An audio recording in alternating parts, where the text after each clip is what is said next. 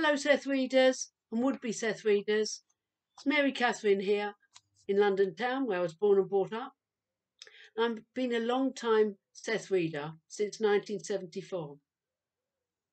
What a wonderful legacy that trio gave us. Jane, Rob and Seth.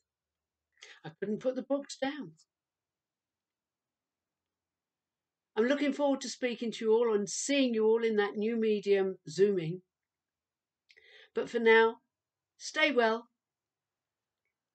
Big wave across the pond and see you soon.